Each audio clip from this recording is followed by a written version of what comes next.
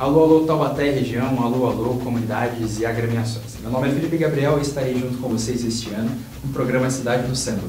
Um programa que é feito para aqueles que já são do mundo do samba e do carnaval e para aqueles que ainda estão descobrindo o lado sambista das fauna.